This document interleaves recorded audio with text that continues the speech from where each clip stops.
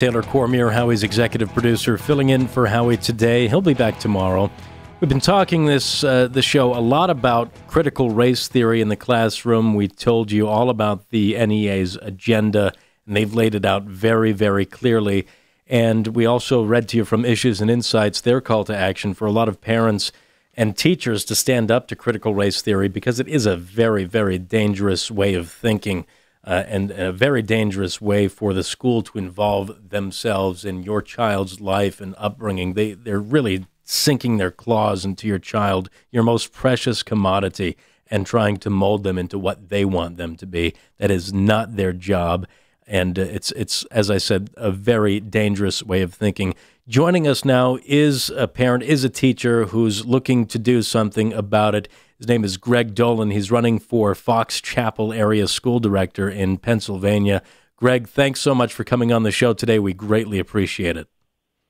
Thank you, Taylor. It's my pleasure to be here. Sure. So, tell us what your uh, you're a U.S. history teacher, and what what what is taught in U.S. history these days that critical race theory doesn't think is is uh, doing the job. Well, whenever I tell people that I'm a U.S. history teacher, the first question I always get is, "Do you teach the real history?" And I say, "Yes, of course." Oh, and well, do you, do you teach the honest history? That's that's what uh, Randi yes, Weingarten right, is saying. Yes.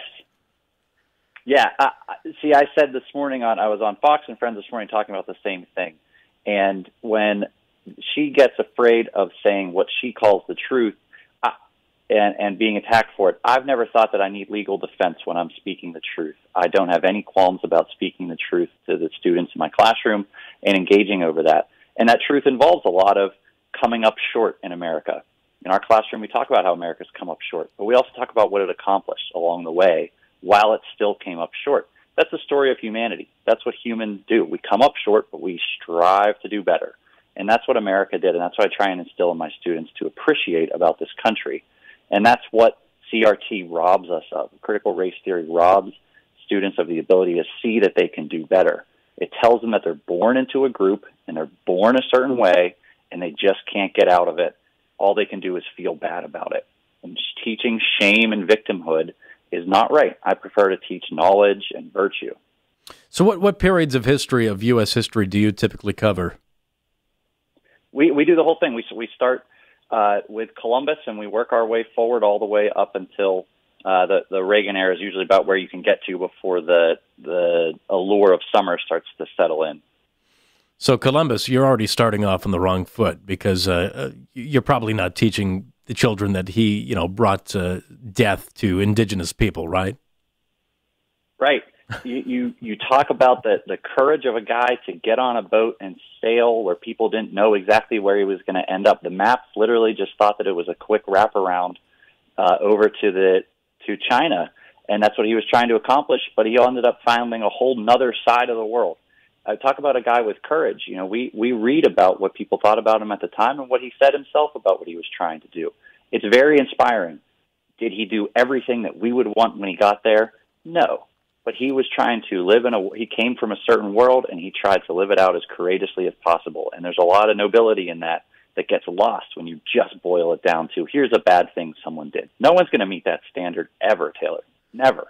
So greg is it, the nea is there any credence to what they say that our history our racist terrible indigenous slaughtering history does that still affect us today is there any credence to that claim? Well, it only affects us in the same way that that learn that we need to talk about it and we need to know that it happened. I, I'm hard pressed to say that the students in my classroom in front of me are in any way guilty or need to apologize to their fellow classmates for what happened in the past. We need to talk about it. We need to address what this country is made up of as a part of its history uh, in full so we need to talk about the Trail of Tears. We need to talk about uh, how we uh, treated. We, we live in Western Pennsylvania here in my in the school district I'm running in, and the Indian Wars were fought right on our on our frontier here. And we need to talk about how we grappled with those. But we don't need to say that the people today need to uh, carry the sins of their fathers, which is what, to me, critical race theory tries to impose on students Is critical race theory already being introduced into the classrooms? Uh, it's it's part of the proposal here from the NEA. They they say that it's not being taught in the classrooms yet. In my school district, our we passed a George Floyd resolution last year, 9-0 on our school board to say that they needed to undertake anti-racism strategies because quote implicit and explicit racism was going on in our district.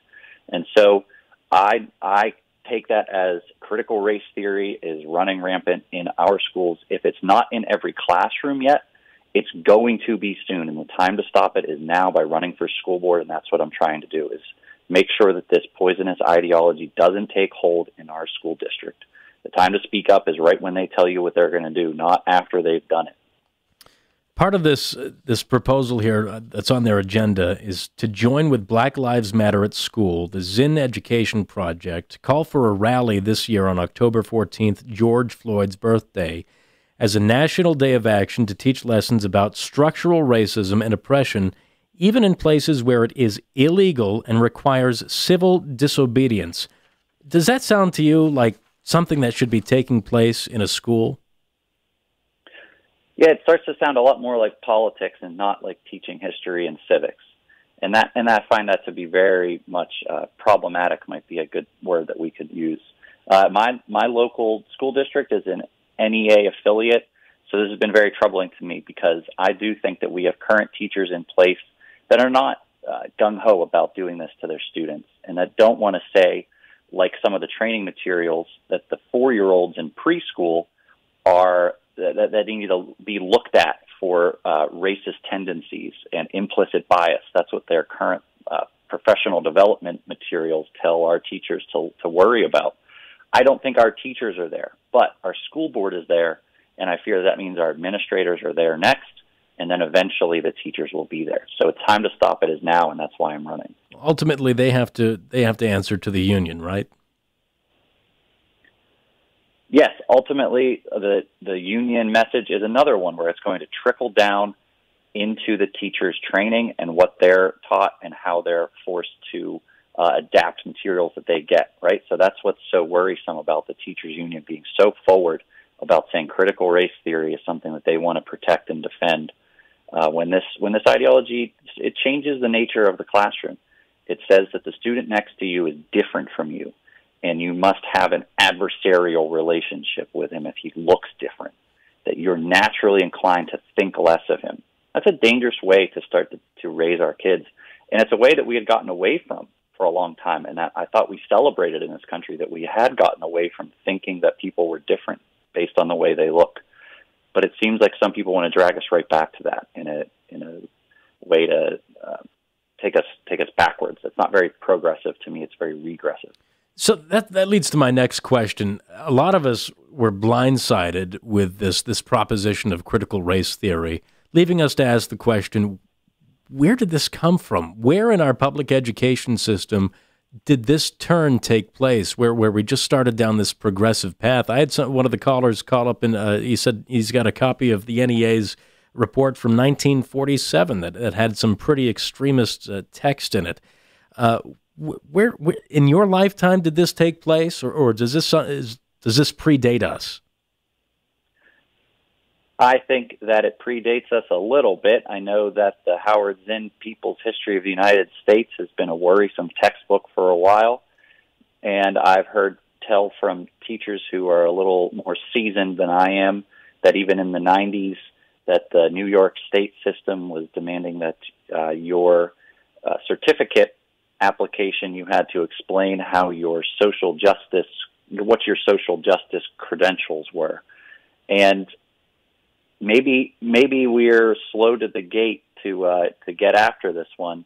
But now that everyone has recognized it, I think it's time to fight it. It's the number one priority on my list of things that I pledge to do as a school director in, in my area. If you go to my website, gregdolan.com, G R E G D O L A N dot com, you can see that the number one issue I'm going to fight on is stopping the indoctrination of critical race theory. I think it's that important. And I think it's a litmus test. If you get this right, should we teach shame and victimhood to students or should we not? I think if you get that question right, you're going to get a lot of other things right in a school district. But if you get it wrong, you're going to get everything else wrong. So it's not the only thing I'm running on. I'm talking about our spending and our uh, our poor textbook choices in some areas. I'm doing a curriculum review of what we have. But it's the first issue because if you can't get that simple question right, Taylor, you're really far, far behind the eight ball, and I don't trust you on anything else. Well, and I think it speaks to the broader question of where do we diverge and go from teaching the children the facts of the matter to telling them how to think about the facts of the matter and how to think it, it, impacts their life and their outlook on society. That's not something that I want the government, I want the public school system to be a part of in any way, shape, or form. There's a line that they're overstepping uh, from teaching to parenting. Yeah, and that's always a fine balance that we face as teachers. And it does seem like this one goes goes overboard, and especially the way that the backlash now. We're being told that actually critical race theory isn't in the schools. But if it were, it'd be okay as a way to teach. But also, it's only for law schools. These are the comments that I get constantly trying to gaslight and deflect and change the subject from the actual merits or lack thereof of critical race theory. And so as soon as people start telling you that, well, the thing that you think is bad isn't being taught, I think that means that they know that the game is up and that we're on to them. I'm sure you've heard the cut a hundred times today, but I just want to play it again for our listeners here. This is Randi Weingarten uh, talking about how she says critical race theory is not in our school system. She basically just says uh, what you just said, Greg, what, uh, what the rhetoric is. Cut seven, Jared. Critical race theory is not taught in elementary schools or middle schools or high schools.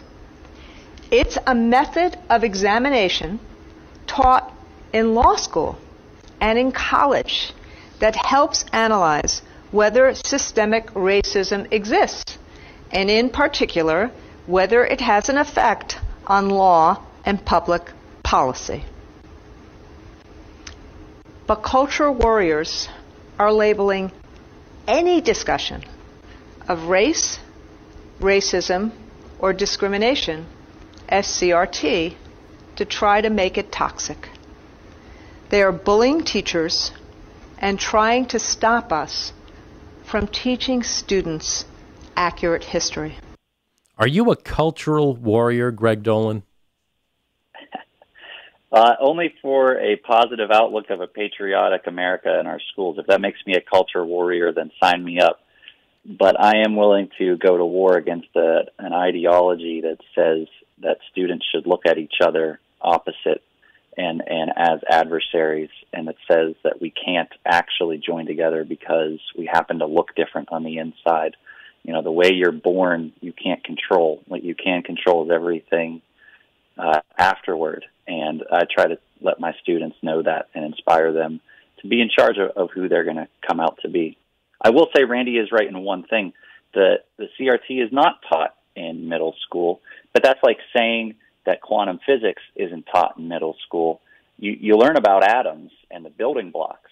Well, what they're trying to do is teach our children the building blocks of critical race theory so that when they get to law school, they understand it and it's natural to them and it's obvious that they should think of each other as in different groups. So yeah, the term critical race theory applies to a law school theory or a law school uh, idea, but it doesn't mean that, that it doesn't trickle into what we're doing. So it, again, they're playing semantics. They're playing word games by trying to trick you into thinking that it doesn't apply, and that's how we know that we're on to them. And and they keep all the language around it very vague, which which I think is a very deceptive tactic as well. Uh, is there, if you were to recommend one resource to people who want to learn more about critical race theory and, and how it's harming our children in public schools, where would you direct them? Oh, I think that anything that our friend Christopher Rufo is putting out, R U F O, uh, is usually a good source to stop uh, stop by wherever he's uh, talking about. Uh, I, I'm I'm hard to pin down on one exact title just because it is so slippery, and that's what they've done. You really have to notice these words and be able to pick up on it. Um, so it is frustratingly vague. Uh, but the, the 1776 uh, PAC is also another group that has a bunch of good resources. And the last one that's coming to mind is Parents Defending Education. They do a good job of a curriculum alternatives. So sometimes we get criticized uh, for being uh, attacking CRT but not providing other resources. Well, Parents Defending Education has a whole list there for those that are interested. Uh, in my classroom, I prefer to just read real texts of, of, primary sources of what people said at different points in history. Yeah, that's the best way to do it. From just doing that, exactly. Greg, thanks so much. Best of luck to you in your race. Keep us posted on what's going on. Thank you again. We appreciate your time. That's Greg Dolan.